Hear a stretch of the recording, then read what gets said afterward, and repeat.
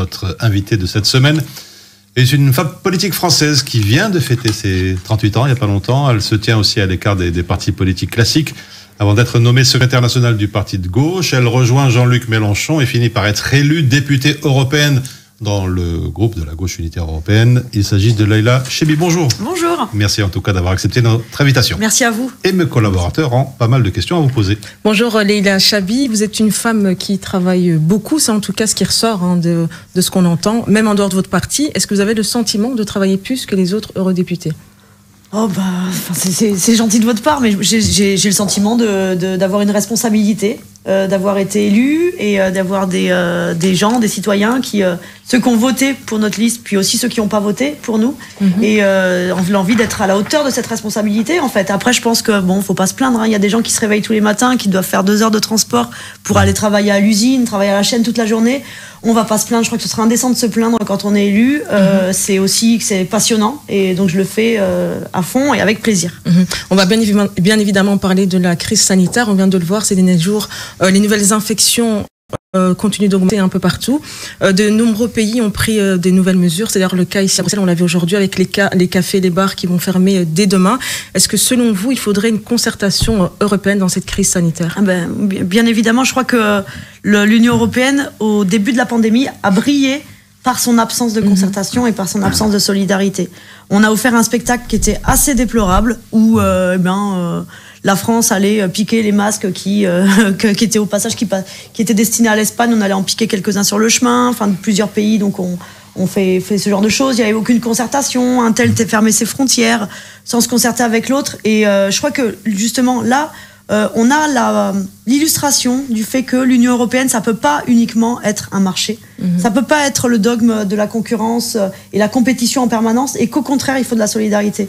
On a vu à quel point c'était nécessaire d'avoir, par exemple, des masques qui soient produits non pas à l'autre bout de la planète en Chine, mais euh, en Europe. Il ne faut pas qu'on arrive la prochaine fois qu'on a une pandémie mais, ou une catastrophe mais dans ce quel genre. genre de, de, mécanisme on pourrait justement imaginer pour euh, lutter contre cette pandémie? Ah ben, Alors, je pense que d'abord, il faut, euh, on, il faut faire, mettre en place les conditions pour que, eh bien, au niveau des médicaments, de la production de médicaments, au niveau de la production de vaccins, eh bien, les choses se fassent dans le cadre de l'Union européenne et non pas dans le cadre d'une concurrence, mais dans le cadre d'une solidarité. Pour la production, alors c'est pareil, la production. Des brevets en commun aussi. Oui, exactement, exactement. Sur la question de la production de masques, euh, je crois qu'on a vu aussi à quel point la politique euh, euh, des accords de libre-échange, où on ramène des produits de l'autre bout de la planète, à quel point il y avait urgence à relocaliser en, dans l'Union européenne la production de masques, et pas qu'on se retrouve dans mon mmh. pays, la France, où on avait un gouvernement qui était obligé de vous expliquer que le masque ne servait à rien. Tout ça parce qu'il n'y avait, pas, ce manque. il y avait pas assez de masques. On, re, on reviendra sur la question du libre-échange. La question des hôpitaux. Oui, mais surtout sur le libre-échange en, oui. en, fin d'interview. Oui. Je voudrais qu'on parte en France lors de son discours sur le séparatisme religieux, vendredi dernier justement. Donc c'était Emmanuel Macron hein, qui a décidé d'établir des mesures fortes. Un exemple de mesure, l'interdiction de l'enseignement à domicile, sauf pour raison de santé. La HAB, l'instruction à domicile concernait 50 000 enfants. Fallait-il la supprimer? Oui, alors d'abord permettez-moi de, de, juste, euh, peut-être pour ce, celles et ceux qui nous écoutent, n'ont pas forcément suivi l'actualité, notamment mmh. l'actualité française. Donc Emmanuel Macron aurait bien fait de s'abstenir de ce discours au Muro, parce qu'en plus il faut savoir qu'il y avait un Conseil européen au même moment, et qu'Emmanuel Macron s'est absenté euh, du, du, Conseil européen et a dit euh, bon bah tiens c'est Angela Merkel qui va représenter la France parce que je privilégie parce mon que discours. Merkel représente les intérêts de la France. C'est un autre, vous avez vous faites bien de le souligner. Oui oui, nous on était assez scandalisés, puis surtout en plus tout ça pour faire un discours sur le séparatisme où clairement en fait euh, euh, il est problématique dans l'ensemble ce discours hein, parce que c'est encore une fois on va essayer de trouver des boucs émissaires il y a une on est dans une période où les conséquences sociales de la crise sanitaire elles se font ressentir vous savez il y a, il y a il n'y a jamais eu autant de, de, pauvres, de mal logés, de gens au chômage en France que ben voilà et dans mmh. l'ensemble des pays de l'Union européenne suite à la pandémie. La priorité, c'est de donner des réponses sociales, économiques. Et ben, on a un président de la République qui va encore cibler une partie de la Donc population, pas la priorité, les musulmans, euh, pas la en l'occurrence. Parce qu'en fait, on cible là, dans ce discours-là, euh, quelles que soient les mesures. Là, vous voulez parler de l'école, par exemple, ouais. à domicile, mais euh, on pourrait parler de la laïcité. À chaque mais fois, ce sont les musulmans qui sont, qui sont ciblés. Et, et concernant l'école à domicile, justement, mmh. là, on a un effet Comment, comment éviter que des enfants déscolarisés, en fait, partent vers des structures euh, non déclarées, tout simplement? Donc, comment garder le contrôle?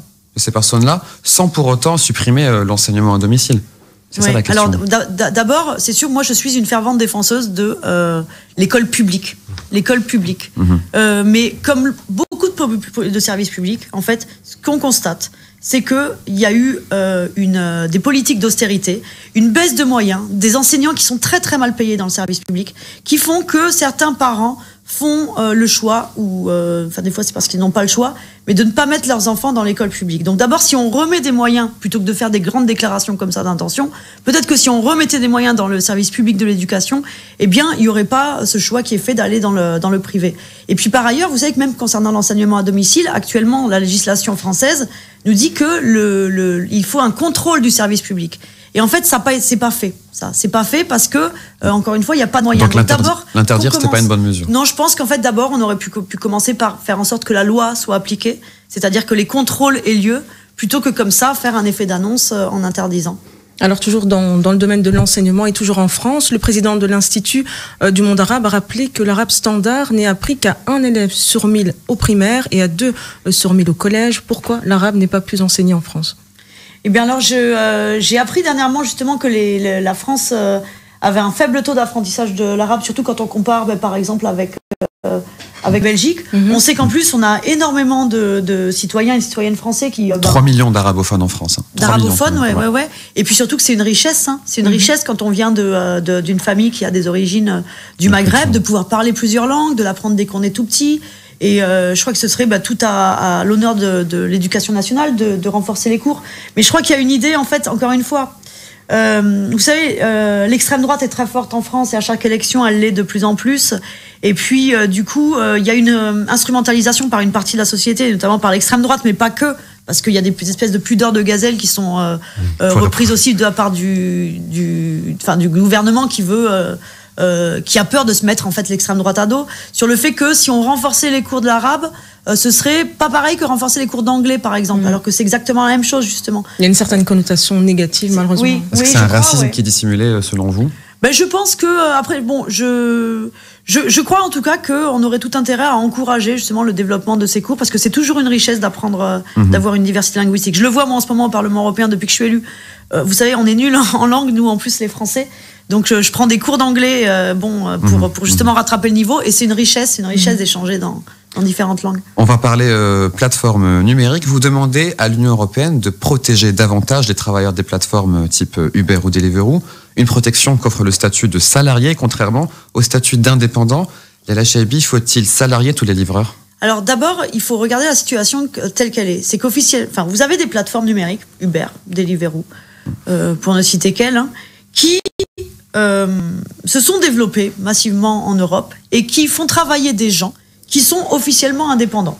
Sauf qu'en fait, quand on regarde dans le détail, on constate qu'ils n'ont rien du tout de l'indépendant, à part leur euh, statut officiel. C'est qu'ils sont soumis à la sanction des plateformes, les plateformes ont le pouvoir de les contrôler, leur imposent leurs tarifs, et donc, à chaque fois qu'ils sont allés devant les tribunaux, que les tribunaux ont eu à juger de leur situation, les tribunaux ont dit non, dans les faits, vous n'êtes pas indépendant, vous avez les caractéristiques du contrat de travail et du lien de subordination. On, on en reparlera justement sur ce statut mmh. d'indépendant, mais je voudrais quand même dire quelque chose. Il y a des travailleurs, certes, qui, ne, qui, qui veulent une plus de protection, mais il y en a qui veulent simplement plus d'argent. Donc, ça se voit à demander à un chauffeur Uber, il va vous dire euh, moi je travaille pour Uber parce que j'ai euh, la liberté de choisir mes horaires et surtout j'ai pas de limite de salaire, c'est-à-dire que si je veux travailler 50 heures par semaine, je peux le faire. Donc, qu'est-ce que vous leur répondez à ces personnes-là bah Alors, souvent, c'est l'argument que nous opposent les plateformes. Hein. Moi, j'ai volontairement demandé à rencontrer les lobbies de Uber et Deliveroo pour voir un peu ce qu'ils avaient dans la tête.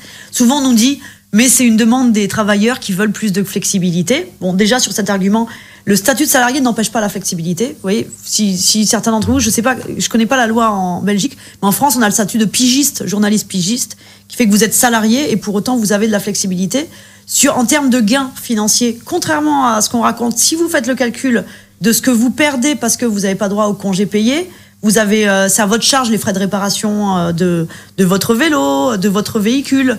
Euh, et bien, quand vous faites le calcul, vous vous rendez compte que c'est plus avantageux euh, en termes financiers. C'est le cas pour tous les travailleurs. D'être, euh, je vous invite, on a, on a mis en ligne justement un, un simulateur, le premier simulateur de, de salariat. Oui. Ouais, pour qui roulez-vous .eu. Donc vous pouvez regarder. Donc là, euh, effectivement, en plus, donc ça fait la comparaison à ce que vous auriez gagné si vous aviez été salarié.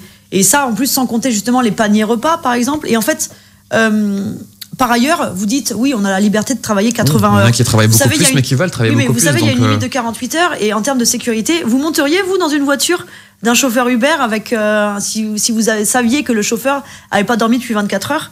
Je crois qu'en termes de sécurité, enfin, ces, ces limites-là, qui sont celles du droit du travail et du nombre Mhm. d'heures durant laquelle on peut travailler, sont aussi faites pour, euh, pour respecter la, la santé et, et la sécurité. Quoi qu'il en soit, Deliveroo a été euh, condamné en France hein, pour euh, travail déguisé. Chez nous en Belgique, le procès de Deliveroo sur, la stat- sur le statut des coursiers a été fixé à octobre 2021. Euh, Si Deliveroo s'arrête, quelles sont les, les propositions concrètes que vous allez faire?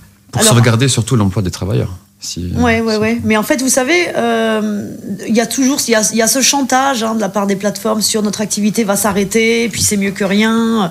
euh, si jamais on change quoi que ce soit dans la loi. Euh, vous savez qu'aux États-Unis, aux États-Unis, là où est né Uber, le berceau d'Uber, le royaume du libéralisme, eh figurez-vous qu'il y a une loi euh, l'été dernier qui est passée, la loi AB5, et qui impose dans tout l'État de Californie aux plateformes de reconnaître le statut de salarié de leurs euh, de leurs euh, travailleurs. Et puis concernant la, la- la demande de requalification des chauffeurs Uber en, en France, euh, il y a en d'autres en dossiers France. en cours en fait, parce que justement les chauffeurs Uber se rendent compte de tout ce qu'ils ont perdu comme argent s'ils avaient été salariés et alors qu'ils ont en fait qu'ils ont que un semblant. Moi je suis pas contre le statut d'indépendant, mais c'est soit on est vrai indépendant, soit on est vrai salarié Mhm. et pas faux indépendant. où Vous avez les inconvénients des deux côtés. Et donc là ces demandes de requalification se font et au final le tribunal, le, le tribunal des prud'hommes dit eh bien, vous auriez dû euh, gagner ça, ça, ça, ça, ça si vous aviez été salarié, donc je vous le paye. Et c'est ce qui fait que là, en attente, euh, je, je- je rencontrais les représentants des VTC il y a 15 jours.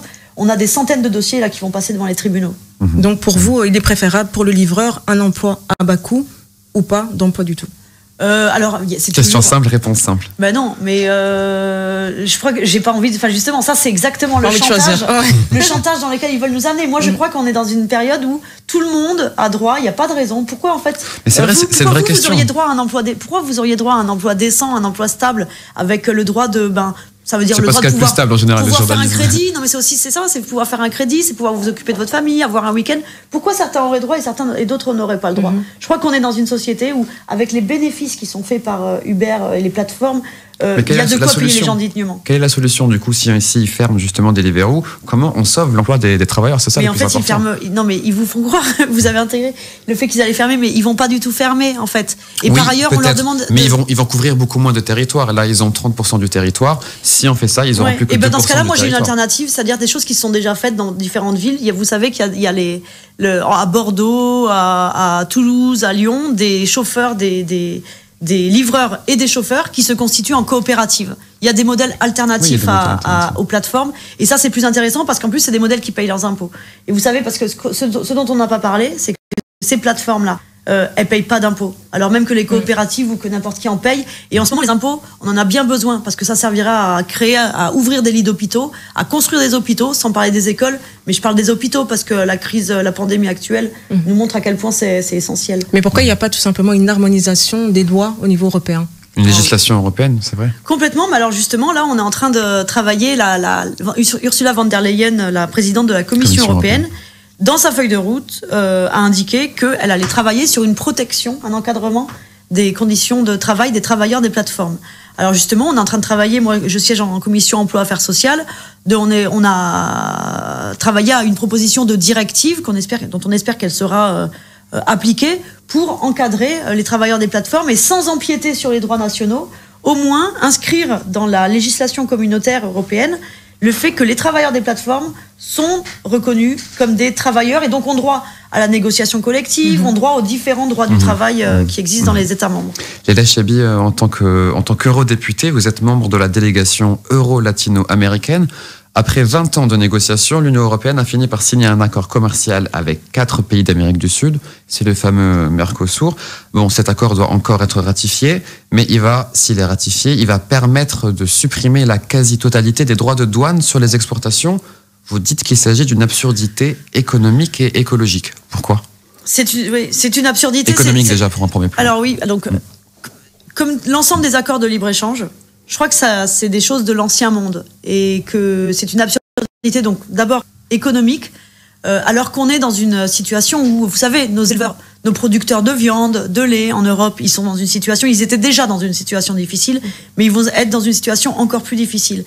Concrètement, cet accord de libre-échange, le, Mercosur, mais comme c'est le cas avec les autres accords de libre-échange, hein, euh, ça signifie qu'on valide l'importation de, de milliers, de dizaines de milliers de mmh. tonnes de viande de poulet, de tonnes de viande de, de bœuf, de lait, alors qui viendraient de là-bas, d'Amérique latine, alors même que ici on a des éleveurs qui sont complètement exsangues et qui auraient besoin eux de vendre euh, ici. Donc, ce que vous dénoncez, c'est la concurrence déloyale.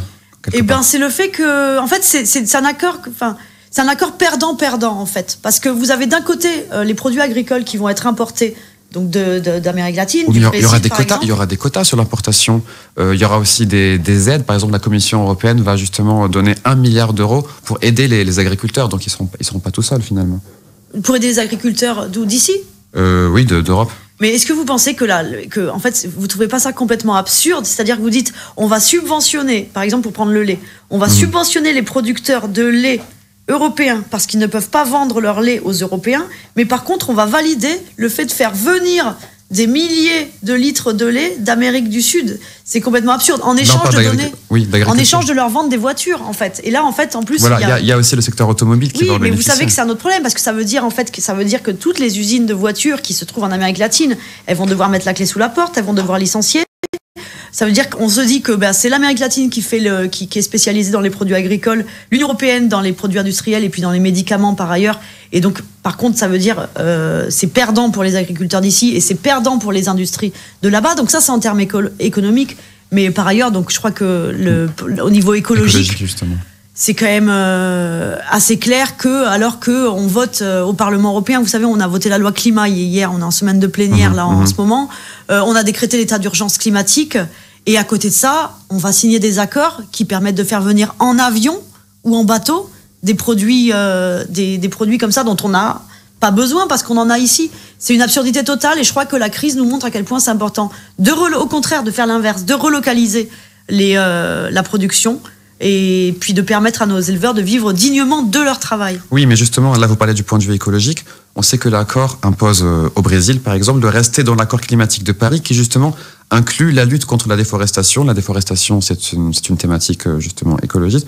Est-ce que euh, si cet accord n'est pas ratifié, le Brésil ne risquerait pas de se tourner justement vers les États-Unis et là, dans ce cas-là, sortir définitivement des accords climatiques Mais vous savez, en fait, justement, c'est un risque à prendre. Pour l'instant, l'accord ne, ne, respecte pas les accords de Paris. Il se trouve que justement, c'est parce que pour une fois, et là, ça, ça, ça me rend optimiste. Je me dis les choses sont en train de changer. On avait, on a cet accord, le Mercosur. Euh, qui, même de la part de mon gouvernement, le gouvernement d'Emmanuel Macron, euh, ne fait pas consensus. Ça a été dit justement que non, tant qu'il fallait, il fallait porter des modifications à cet accord pour qu'il respecte l'accord de Paris. Dombrovski, le commissaire européen qui est chargé de ces questions-là, euh, donc a indiqué que non, tel quel, ça allait pas parce que ça respectait pas les accords de Paris. Et, euh, et donc non, justement, c'est bien ça le problème. C'est bien ça le problème. Alors, le, temps passe très très vite. Si vous avez encore une dernière question. Concrètement, qu'est-ce qu'on peut faire justement? Est-ce qu'il faut annuler ce Mercosur? Enfin, est-ce qu'il doit être ratifié ou pas? Oui. Ou est-ce qu'on peut pas justement penser à le modifier? Est-ce qu'on peut pas, par exemple, pour sauver euh, la forêt amazonienne, est-ce qu'on pourrait pas justement donner des aides économiques aux Brésiliens pour qu'ils puissent euh, l'entretenir cette mais je crois que déjà, il faut mettre à la poubelle ces accords de faut mettre à la poubelle ces accords de libre-échange. faut penser un système de coopération. Ça ne veut pas dire être fermé sur ses frontières, hein, mais faut, faut, un système de coopération qui soit basé sur la solidarité. Et pour sauver la forêt amazonienne, vous savez, eh ben pour sauver la, la, la, forêt amazonienne, déjà, euh, on peut limiter la consommation de, de, de, viande d'ici, parce que pour de la consommation de viande, ça nécessite énormément euh, euh, d'eau. Et donc je crois que c'est justement en annulant ces accords de libre-échange qu'on va sauver la, la, la, forêt amazonienne et pas en signant un chèque comme ça pour se donner bonne conscience. Voilà, c'était donc la, conclusion de, de Leila. Merci en tout cas d'avoir accepté notre invitation.